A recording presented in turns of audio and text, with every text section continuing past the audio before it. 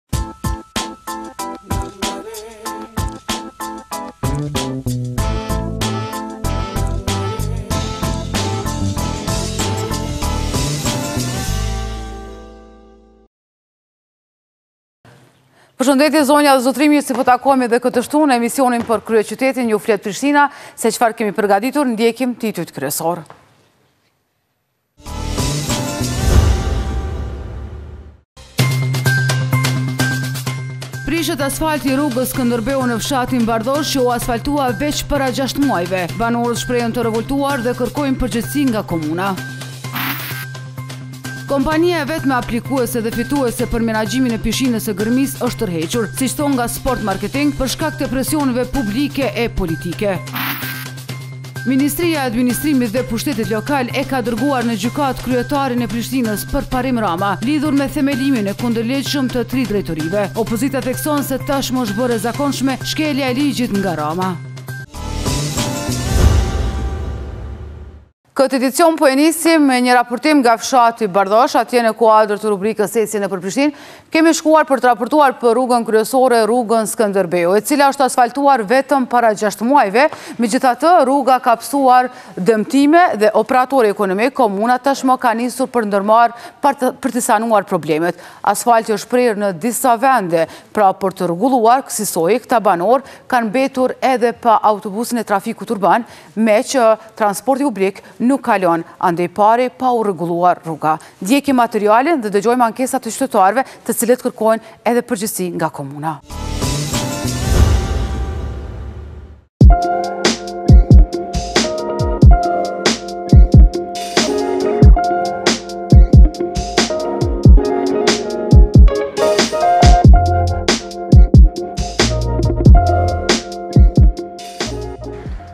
Një, dy, tre, katër, pesë, gjashtë, shtatë, tetë, nëntë, në më pak se 50 metra, rruga Skënderbeu, e cila është asfaltuar që gjashtë muaj tu në Bardhosh, pra nëntë herë është prerë asfalti për shkak dëmtimeve që i ka pësuar kjo rrugë, dhe kjo nuk është e vetmja, pamje të tilla, ka edhe në anë të tjera të rrugës Skënderbeu, që ne do i shfaqim në vazhdim.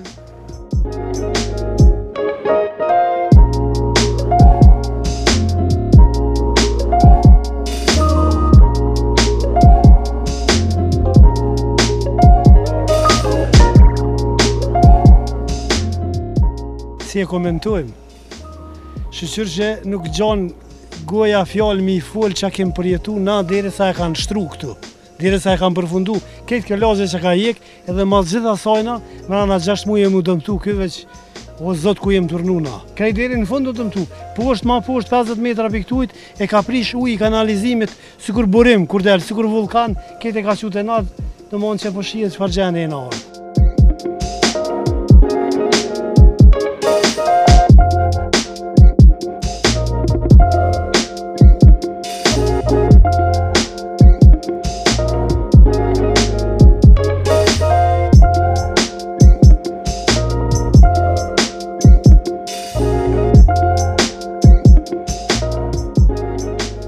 Veç gjashtë muaj më parë, rruga Skënderbeu në Bardhosh të kryeqytetit është asfaltuar megjithatë, tani jemi në fundin e majit dhe pamja e kësaj rrugë është e tillë. Ka prerje të asfaltit për shkak dëmtimeve dhe plasaritjeve që ka pësuar kjo rrugë. Sipas banorëve, një apo dy muaj ka qëndruar asfalti, pra ka qenë një infrastrukturë siç duhet dhe më pas kanë filluar edhe telashet. Kujtojmë që banorët kishin protestuar vitin e kaluar për neglizhencën e punimeve, për ndalimin e qarkullimit të autobusit të trafikut urban, dhe problemeve që i kishin me qarkullimin për dërgimin e fëmijeve në shkollë, tek mjeku, shërbimet e tjera pra të përditshme. Njëjtë ndodh dhe tani, pra autobusi i trafikut urban nuk hyn në këtë rrugë për shkak të prerjeve të asfaltit, tyre gropave që ka filluar komuna t'i ndërmarrë dhe pra t'i sanojë problemet. Banorët ankohen përveç kualitetit të rrugës dhe prishjes së saj, ankohen edhe për mungesën e trafikut urban, qarkullimit të vështirësuar gjatë orëve të natës, por edhe ditën.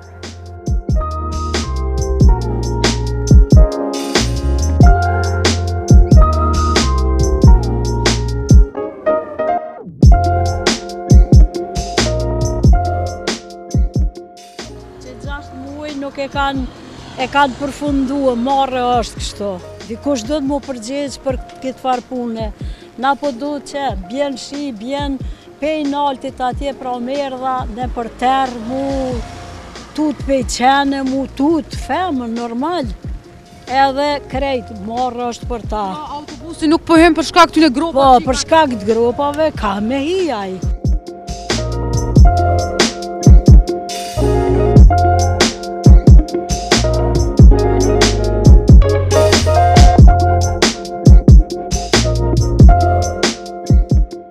Pa u prish asfalti ka nejt as një muj e gjysë. Pa u dëmtu. U plas, për herën e parë, mas një muj e gjysë u plasarit. edhe kanë fillu me u vu mandej gropat. Këtu s'ka të bëjë kurgjë me reshje, po është cilësia e dobët e punimeve, kjo rrugë ka zgjat për mbi një vjet e gjysë derisa u rregullu, banorët me 3 km ecën n'kamë me dalë në autobus deri te rruga kryesore, pa marrë parasysh pleq, plaka, fmi, shkollë, edhe kjo është tmerr i tmerrit. Ka fillu m'u dëmtu e m'u dëmtu asfalti, sikur me konë para Njëqind vite që u shtrua, po pesë gjashtdhet vite.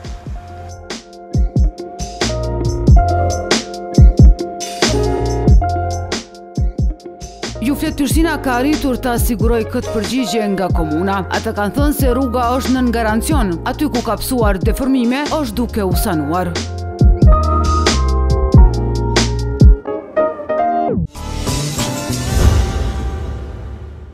Nga fshati Bardhosh shkojmë në një fshat tjetër fqinj në Bërnicën e Poshtme dhe të Epërme.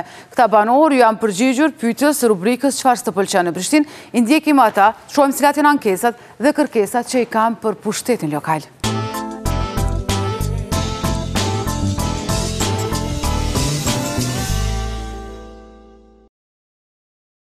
Këtë javë në Çka s'të pëlqen në Kryeqytet, kemi ardhur këtu në Bërnicë të Epërme dhe Bërnicë të Poshtme, se cilat janë problemet e banorëve të këtushëm, për të cilat ata mendojnë se duhet bërë më shumë punë, e ndjekim rubrikën në vazhdim.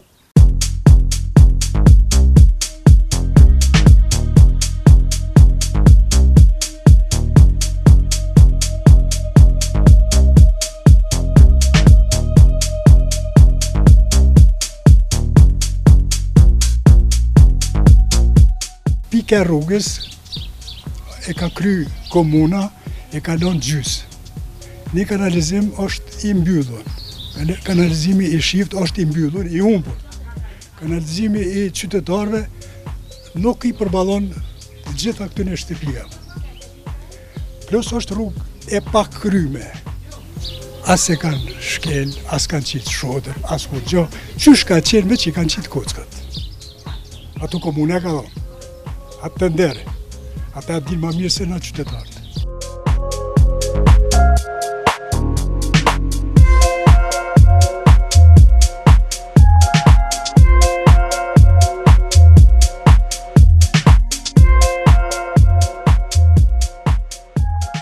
Kemi problem me ndriçim. E vetmja rrugë që është ndër lagjet ma të mdhaja në këtë pjesë, nuk ka ndriçim publik. Disa punë që i kena kry, kena kry me vetiniciativë t'banorëve si kanalizimin, rrymen, kena kry me iniciativë të banorëve. Kemi problem edhe me shtyllat elektrike. Janë vendosë, janë ndru shtyllat nga ato drunit në betonit, por ende nuk janë zhvendosë kabllat. është një problem 4-5 vjeçar, i cili ndodhë, mujna me pa edhe shtyllat elektrike, pastaj problem me qen ndacakë. Ka shumë qen ndacakë, rrezikohen banorët.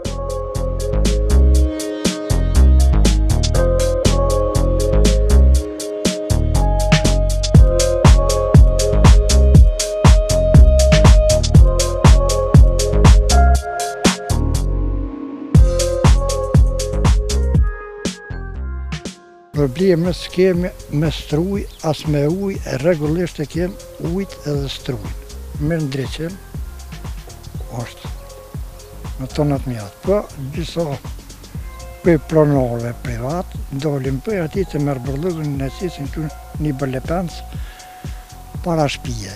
E më ullë dhe është të shtatë të shtatë vjet, ata po e qitë me kisa javë më javë, a është e drejtë kjo. A është e drejtë. Qenë ko plot tu mu, qenë që ka mos rëmë dhe të hajë, por pra këtu vetë qenë nuk u konë, i kanë hjeka pak, i kanë largu.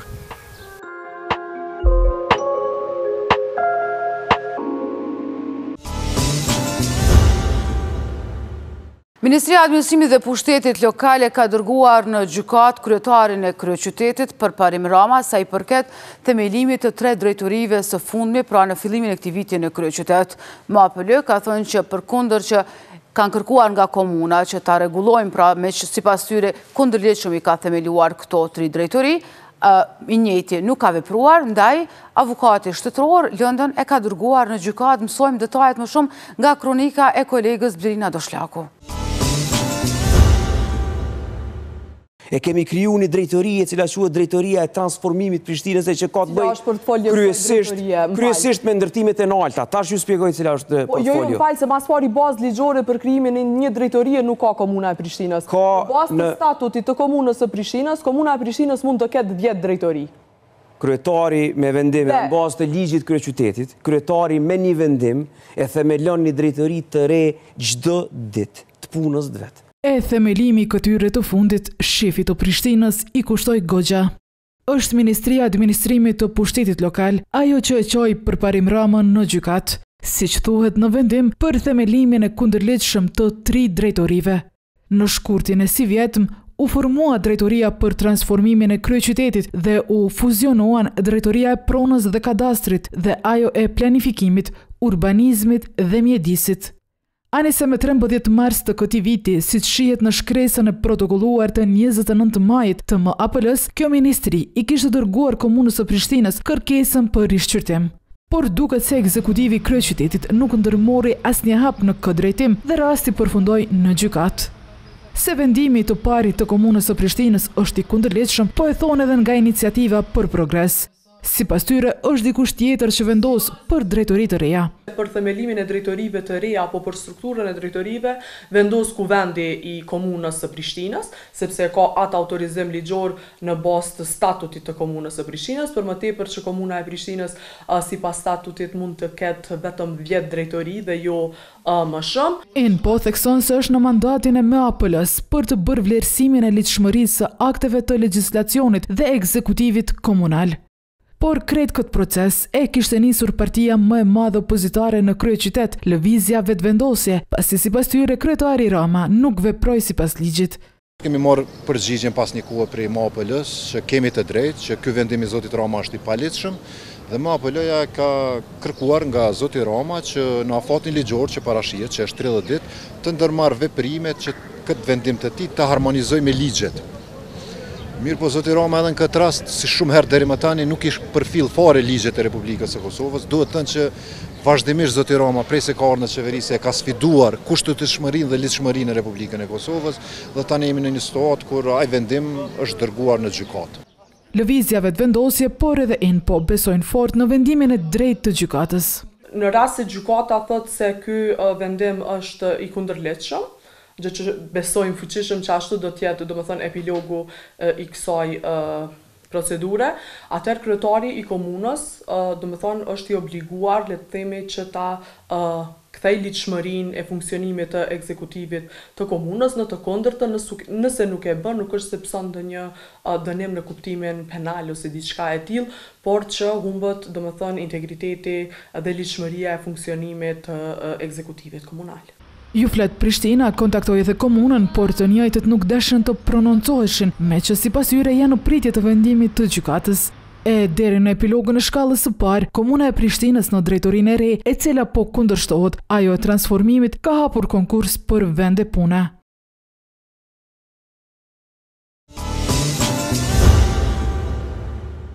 Rikthehemi tani në studio dhe është koha për mysafirin tim për këtë javë, ku kam të ftuar zotri Baki Hotin, kryetari i Unionit të Turizmit në Kosovë, por që do të flasim për kryeqytetin. Zotri Hoti, mirë se erdhe dhe ju falimderit. Mirë se ju gjej, falimderit për ftesën. Siç thashë, ju jeni në nivel vendi, megjithatë do flasim për kryeqytetin, për Prishtinën. Si qëndron aktualisht numri i vizitorëve në kryeqytet? A kemi rritje apo kemi rënie? Pra, si qëndron situata me turizmin në Prishtinë? si në përgjithësi gjithë territorin e Kosovës, sidomos në vendet ku kemi të zhvilluar turizmin, Kemi një rritje të numrit turistëve. Ju e dini që Prishtina si kryeqytet vitin e kaluar e mbylli vitin 2023 me mbi 30% rritje të numrit të vizitorëve. Më shumë se viti paraprak. Po, dhe shumë mirë që ka filluar ky vit i mbarë këta muaj dhe prapëseprapë në çdo muaj kur po e krahasojmë muajin janar të vitit 2024 me muajin janar të vitit 2023 ose muajt e tjerë, kemi një rritje të konsiderueshme, mund të them nga 20%, 18% deri në 24.8% të rritje të numrit të vizitorëve pra brenda këtij viti, çka do të thotë një lajmë shumë shumë pozitiv. Pra pesë muajt e parë të këtij viti janë më mirë se 2023, sepse ju thatë krahasimin? Definitivisht, secili muaj, nëse krahasojmë me muajin e vitit të kaluar, është në rritje sipër nga 19 deri 24.8%, pra gjithmonë tregon një rritje. E veçanta e këtij fillimviti është që Prishtina ka arritur që ta rrisë edhe numrin e netëqëndrimeve, pra ta rrisë personat që vijnë në Prishtinë nuk vijnë kalimthi më, por vijnë të qëndrojnë një ditë, dy ditë, ndoshta edhe tri ditë. Pra, pra kjo është një tregues jashtëzakonisht shumë i mirë, për shkak se në Kosovë, në bazë të një analize, është dikund një vizitor shpenzon dikund përafërsisht, mesatarisht, rreth 150 euro brenda 24 orëve duke përfshirë akomodimin, ushqimin dhe shërbimet të cilat ndoshta edhe shoppingun, dhe kjo tregon që sa më shumë që ne arrijmë që t'i ndalim vizitorët në kryeqytet apo në vendet e tjera, në Kosovë me rëndësi, atëherë mjetet buxhetore do të lihen këtu dhe kjo do ndikojë tek komuniteti në rend parë, por pastaj do ndikojë edhe tek ekonomia e përgjithshme për shkak se pjesa e taksave pastaj veç rritet dhe është e knaqshme edhe për ekonominë e vendit. Po më intereson zotëri Hoti nga përvojat, përshtypjet ju i mbledhni edhe në terren, çfarë i shtyn ata të vijnë në Prishtinë? Sepse Prishtina nuk ende nuk e ka arritur të themi atë nivelin e një metropoli sikurse të kryeqyteteve të tjera. Çfarë ju intereson atyre? Çfarë vizitojnë më shumë cilat janë atraksionet të themi në kryeqytet pa dalë në zonat periferike? Janë disa, disa pjesë të cilat ndoshta do t'i veçoj pse një vizitor dëshiron që të qëndrojë në Prishtinë. Ju e dini që Unioni i Turizmit të Kosovës me vite ka punuar për përfshirjen e Kosovës në paketat balkanike dhe evropiane. Dhe këtë e kemi arritur deri në një masë që turoperatorët e Kosovës tashmë të jenë pjesë e turoperatorëve ndërkombëtarë dhe grupet e vizitorëve të qëndrojnë në Prishtinë, pra si destinacion ta kenë edhe Prishtinën. Për ata, edhe Prishtina ka numrin më të madh të vizitorëve në Kosovë.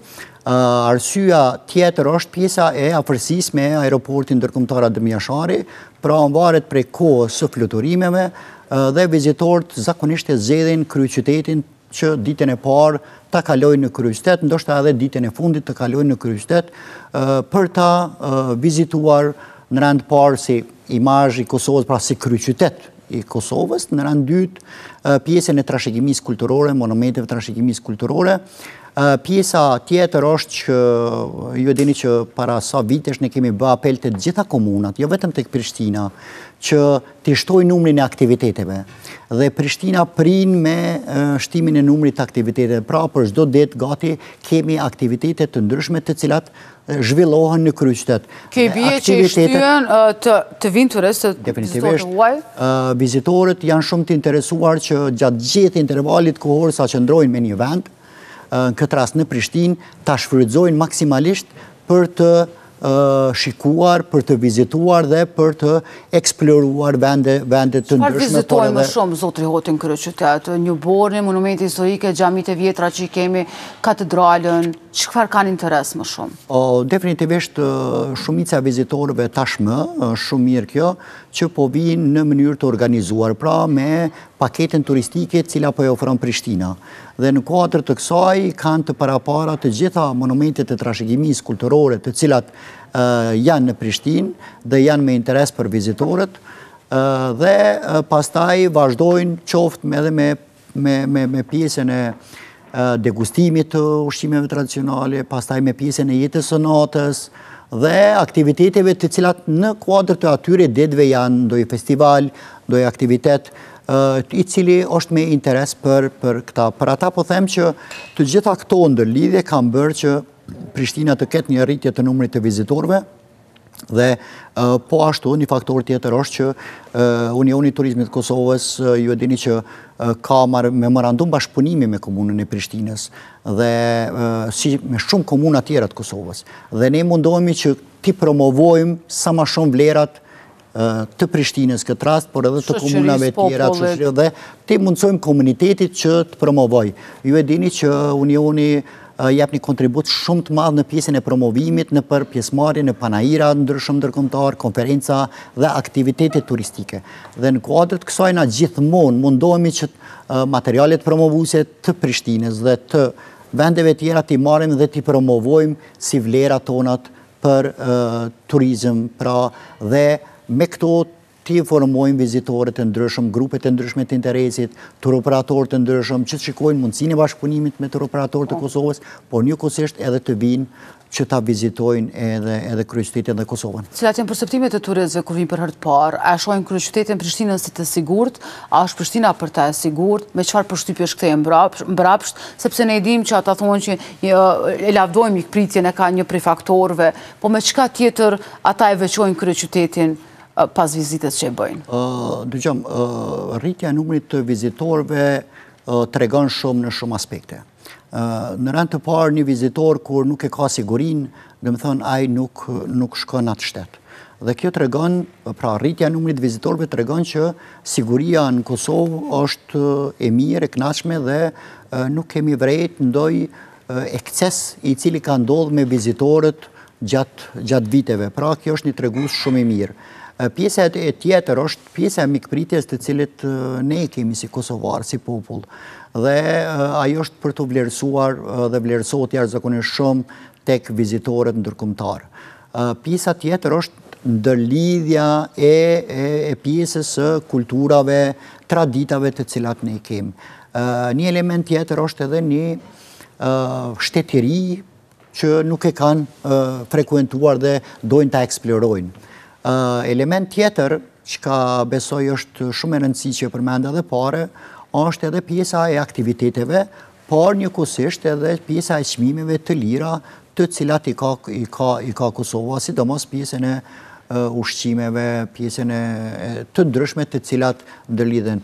A keni një rrëfim interesant, pasi ju jeni takuar me ndonjë grup vizitorësh, që ata do e mbajnë mend Kosovën ose Prishtinën?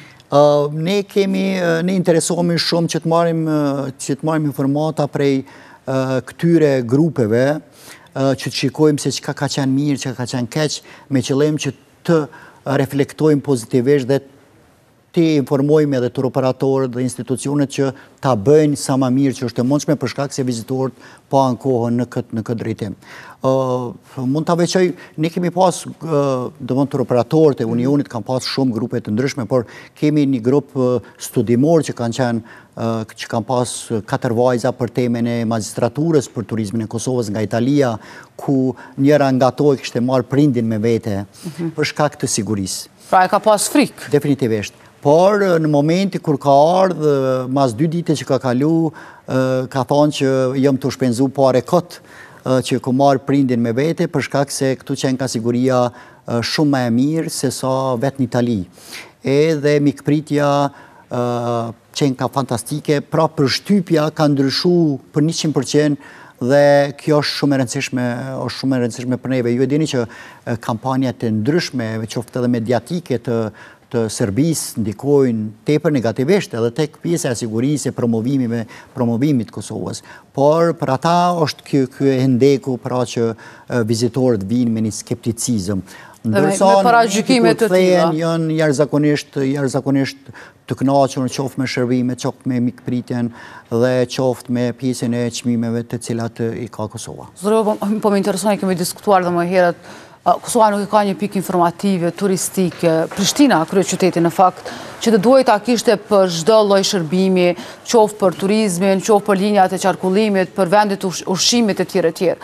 Pse nuk po bëhet kjo, është kaq e thjeshtë, por është shumë e rëndësishme. Ne kemi apelu te Komuna e Prishtinës, si bashkëpunëtorë që jemi, që sa më shpejt që është e mundur, të ketë një zyre informative për turistë, për shkak se është e një rëndësie të veçantë. Në zyre informative nuk ipen vetëm materiale promovuese për të treguar që e kem këtë hotel ose këtë agjencion turistik, por në kuadër të zyres informative ipen të gjitha informacionet qoftë për pjesën e teatrit, aktiviteteve teatrale, qoftë për shfaqje të ndryshme, qoftë për itinerare të ndryshme, qoftë për aktivitetet të cilat zhvillohen brenda ditës, javës ose muajit dhe shumë shumë çështje të cilat i interesojnë vizitorit. Dhe ajo do të ishte shumë e mirë. Komuna e Prishtinës ka filluar një proces i cili Mund të them që është me vite, para dy viteve, ku ka filluar procesin për zgjedhjen e një kompanie e cila do ta bën një prezentim të një projektit për një zyre informative.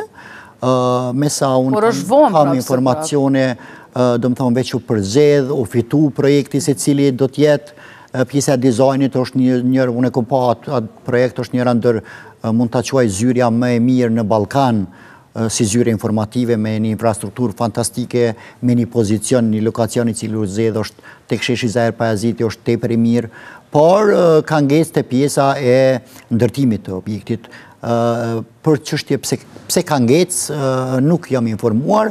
Unë vetëm e di që në kuadër të memorandumit të bashkëpunimit me Komunën e Prishtinës, Unioni Turizmit Kosovës e ka marrë përsipër komplet menaxhimin e asoj zyre turistike, që të angazhojë guida turistike dhe ta menaxhojë mënyrën më të mirë të mundshme, por përderisa komuna nuk e ndërton objektin, atëherë ne duhet të presim. Kjo është shumë keq, për të gjithë vizitorët që vijnë, ndoshta edhe për diasporën tonë, për shkak se edhe ata kanë nevojë me marrë informacione të ndryshme, kështu që unë edhe këtu nëpërmes këtij emisioni po apeloj tek Komuna e Prishtinës që sa më shpejt dhe sa më parë ta bëjë të mundur dhe ta rregullojë këtë zyre informative dhe të jemi në gjendje që t'ju japim shërbime cilësore të gjithë vizitorëve të cilët si pikë parë referuese kanë zyren informative. Gjë që mungon qysh në starte, që është jashtëzakonisht jo imazh i mirë. Në syrin juaj, nga përvoja juaj, ju jeni në nivel Kosove, megjithatë jemi për kryeqytetin, Prishtina ku mund ta orientojë një pikë tjetër strategjie që do e sillte ta zhvillonte turizmin në një plan tjetër, agroturizmin, kemi fshatrat e Gollakut, janë boshatisur një masë madhë fatkecisht, mungon një infrastrukturë, por që do ishte një pjesë tjetër që do e ndihmonte besoj shumë turizmin në Prishtinë. Prishtina ka mjaft potenciale të turizmit, edhe tek turizmi malor, ku ka një potencial të jashtëzakonshëm për pjesën e turizmit kulturor, po mendoj pjesën e turizmit malor, ku bën pjesë dhe agroturizmi, dhe do të jetë shumë e mirë ajo pjesa që ju e përmendët për pjesën e Gollakut, por mendoj është rekomandimi imi që fillimisht në atë zonë duhet të bëhet një fizibilitet, pastaj në kuadër të fizibilitetit të krijohet një strategji e qartë për atë zonë, dhe pastaj të krijohen kushtet dhe standardet të detajizuara, të cilat të cilat do të krijojnë hapësira dhe mundësi pastaj të investitorëve të ndryshëm që të vijnë të investojnë. Këtë po e them me një arsyetim që mos na ndodhë sikur në vende të tjera ku ne kemi të zhvilluar turizmin siç po. është pjesa e Brezovicës që lejohet ndërtimi, pastaj prishen një mori probleme të njohura. Ato japin një imazh shumë i keq karshi të interesuarve për ta vizituar vendin. E mos të flas për pjesën e investitorve. Andaj, nëse bëhet një fizibilitet dhe një strategji e qartë dhe vendosen standarde dhe kritere se për çka duhet fokusuar ajo zonë, cila është mundësia e zhvillimit të promovimit të asaj zone, atëhere, atëhere do jetë një mundësi fantastike për zhvillimin e agroturizmit dhe turizmit rural. E mos të flas, ju e dini që Prishtina e ka të zhvilluar edhe turizmin shëndetësor, ku bën pjesë sidomos turizmi dentar, ku ne sot kemi... Vijnë të huaj t'i rregullojnë dhëmbët, të marrin shërbime stomatologjike? Definitivisht, ne kemi sot ordinanca stomatologjike të cilat janë me standarde të bashkimit evropian, me infrastrukturë dhe aparaturë me standarde të bashkimit evropian dhe shërbime të bashkimit evropian. Ndërsa çmimet janë jashtëzakonisht shumë shumë të lira.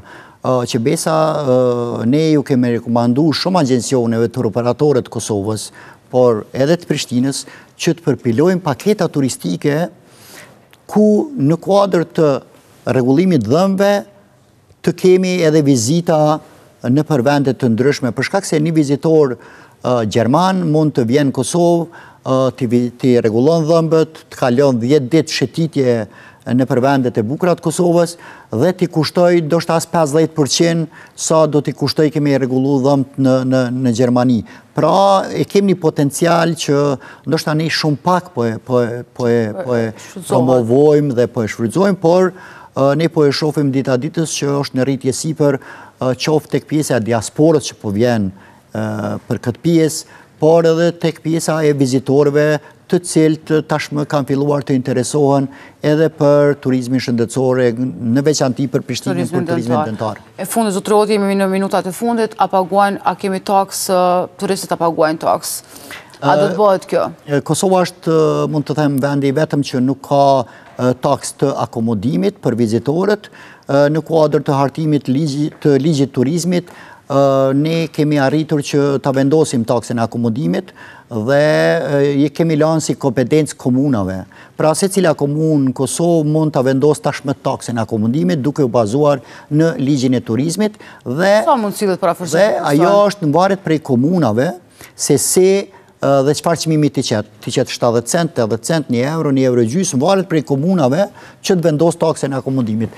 Vlen të theksohet që taksa e akomodimit nuk e dëmton biznesin, nuk është barrë për biznesin, për shkak se vetë vizitori e paguan edhe ne kur shkojmë si vizitorë dikun, gjithmonë e paguajmë këtë taksë akomodimit, por çka na kemi rekomandu dhe kemi inicu procesin te Komuna e Prishtinës, është që neve na intereson që këto mjete buxhetore, të cilat do të mbledhen dhe kontribuues për këto do jenë subjektet akomoduese, ë ku do të shkojnë?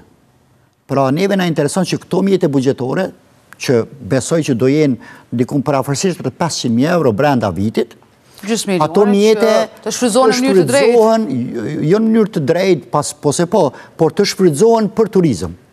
pra të shfrytëzohen për pjesën e promovimit të Prishtinës dhe mbështetje të komunitetit. Andaj, në propozimin tonë që e kemi japë, është që Komuna e Prishtinës në bashkëpunim me Unionin e Turizmit të Kosovës të organizojë një panel diskutimi me të gjitha hotelet, ku do të diskutojmë se si do të veprojmë dhe si do ta vendosim taksën dhe në fund të vit, në fund të çdo vitit t'i mbledhim prap këta këto biznese dhe t'u tregojmë që kaq buxhet kemi mbledh dhe këto mjete ku t'i destinojmë, idetë t'i marrim edhe rekomandimet e tyre Pra, kjo është ajo mundësia e zhvillimit të, të turizmit. Në mënyrë të vazhdueshme. Po. Zotri Hoti, unë ju falënderoj për të gjitha informacionet që ndatë për shikuesit e emisionit Flet Prishtina. Punë të mbarë. Faleminderit.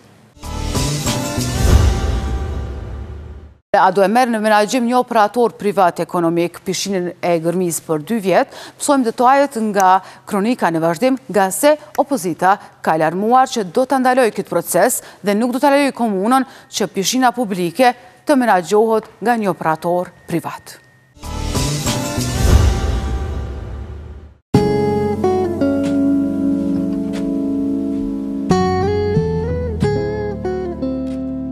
Temperaturat u ngrohën, por fituesi u ftoh.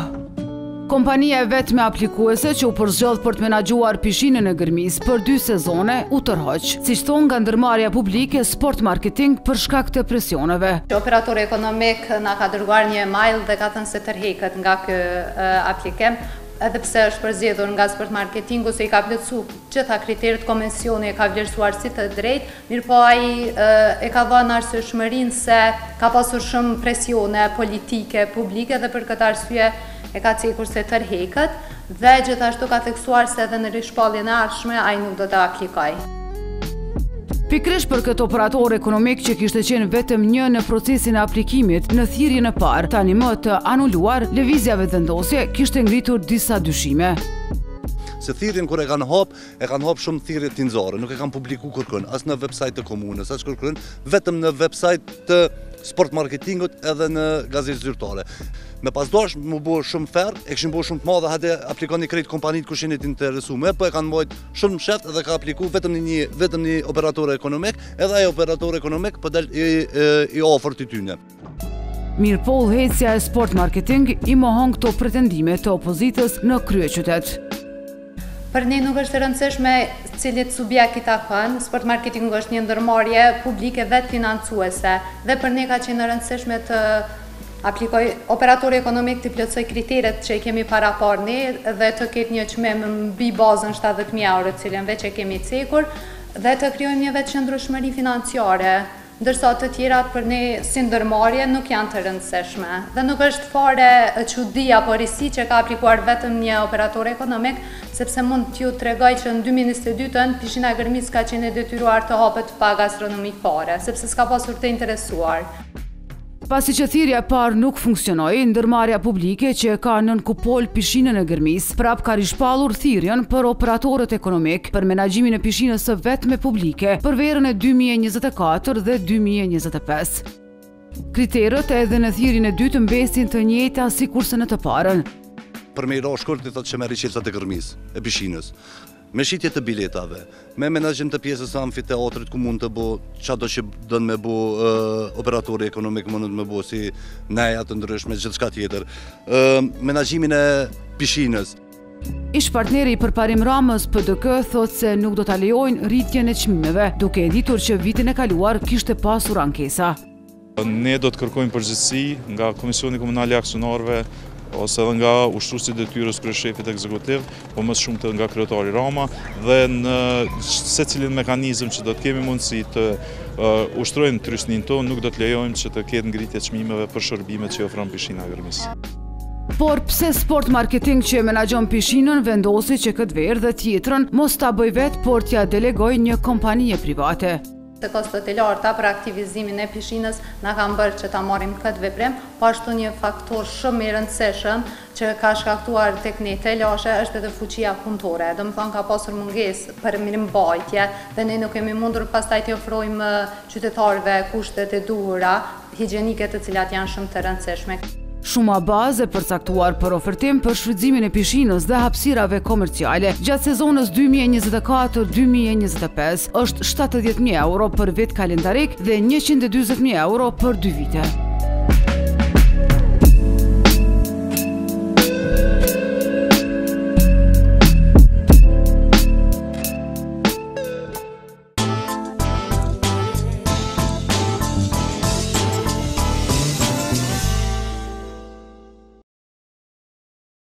Dhe krejt për fund kemi rubrikën Spiunët e UFP-së që janë raportimet e juaja që vijnë në adresën e Ju flet Prishtina, regjia të lutem nëse jemi gati, filloj me adresimin e parë që na vjen nga Në që na vjen nga qytetarët në fakt. E kemi një njoftim më të pazakontë pra një njoftim një letër në një kompleks banesor te lagjja te vendi ashtuquajtur te Katër Llullat, aty thuhet që mbylleni derën sepse po futen qentë endacakë. Edhe kjo ndodh, madje shumë të tjerë na kanë shkruar që ju ndodh që në hyrjet e tyre kolektive të futen qentë endacakë për shkak të numrit të madh të tyre në kryeqytet, një problem ky ende i pazgjidhur që në fakt për në shumë lagje të kryeqytetit qentë endacakë janë shndërruar ankth për banorët, fëmijët, të vegjlit e tjera e tjera. Kjo ishte pra nga Katër Llullat, vazhdojmë tutje me një raportim që na vjen nga Trafiku Urban, nga autobusët e trafikut urban, bëhet fjala për wireless-in, për internetin, që e ka proklamuar Trafiku Urban që do ju shërbejë një shërbim shtesë pasagjerëve, megjithatë një qytetar thotë që dhe pyet, thotë se pse nuk funksionon wifi-ja në autobusët e trafikut urban, një postim ky që ka pasur më pas shumë komente, dhe ankesa të vazhdueshme. Madje për këtë patëm folur edhe në studio, kishim patëm pasur një diskutim edhe me drejtorin e operativës së trafikut urban, ku kishte dhënë shpjegimet e tij pse nuk është kualiteti më i mirë i internetit në apo wifi-së në autobusët e trafikut urban. Vazhdojmë tutje me një problem në infrastrukturë, për të cilin kemi raportuar muaj më parë, bëhet fjalë për nënkalimin në Kalabri, tashmë nuk është i mbushur me ujë, sepse Kryesisht sa herë ka reshje, ky nënkalim mbushet me ujë, madje edhe disa kubëza që qytetarët i kanë vendosur ato për të kaluar, pra për të mos mbushur me ujë, por megjithatë ujë nuk është, por mirëmbajtja shihet në gjendjen në cilën është ky nënkalim. Pra mbeturina dhe papastërti e madhe, ku bën që shpesh ky nënkalim mos shfrytëzohet, por të kalohet rruga trup në rrethrrotullim, duke u rrezikuar dhe vetë këmbësorët. Vazhdojmë tutje me një problem po të fundit që ka të bëjë po me infrastrukturën, me asfaltet, me rrugët. Një qytetar ka thënë që nga shembja e asfaltit në rrugën Holger Petersen, po dëmtohen shumë vetura që po qarkullojnë këndej pari. Këto janë pamjet, pra rruga ka pësuar deformime dhe në fakt nuk janë të pakta ankesat që na vijnë për deformimet e shpeshta të rrugëve edhe kur sanohen së fundmi apo asfaltohen.